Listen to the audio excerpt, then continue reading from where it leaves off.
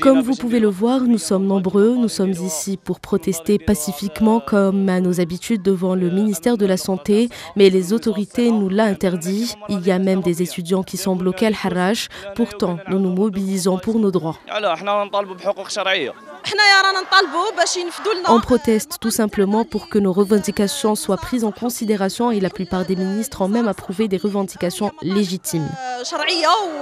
Euh,